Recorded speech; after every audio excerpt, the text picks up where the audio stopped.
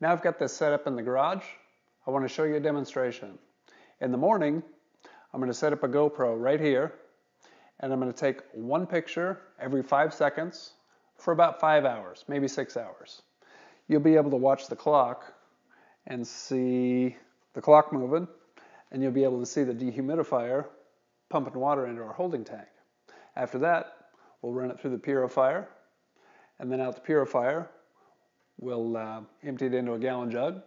We'll test the water and then we'll add our uh, minerals back into it and then we'll drink it. So check it out. It's pretty cool. See ya.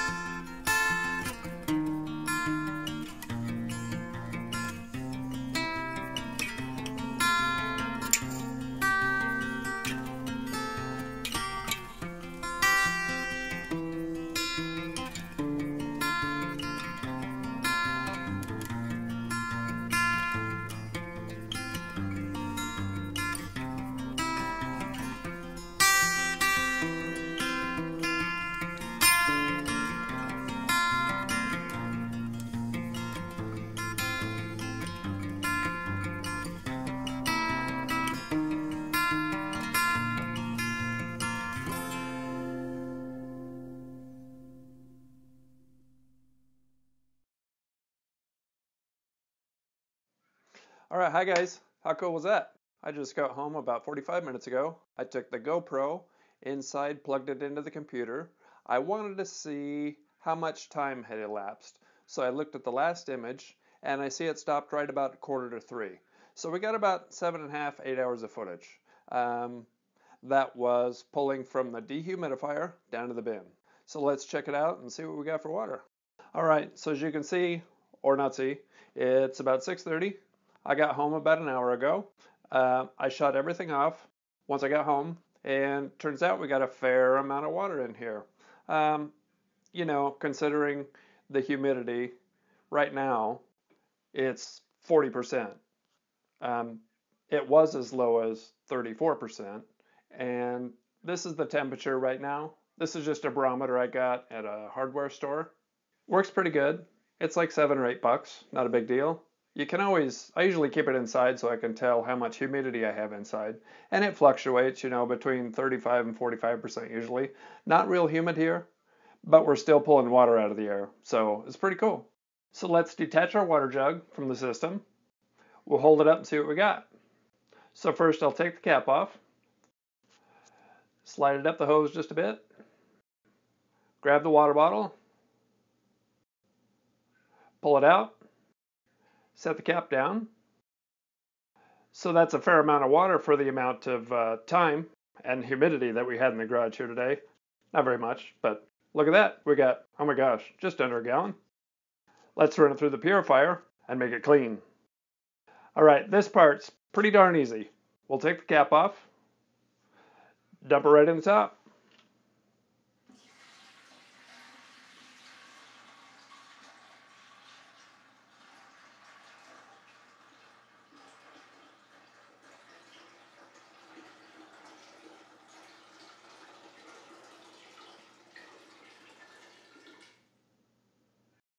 Nice.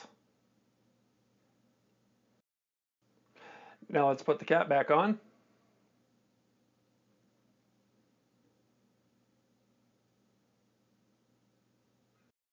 We'll let that purify.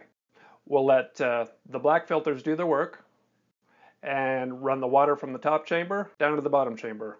And then we're going to do a total dissolved solids test. We can tell what's not in the water. Let's put this back together real quick. All right, simple enough. Let's grab our cap, run it back up over the hose, thread it back on top of the bottle, and we'll be ready for next time. That is all set.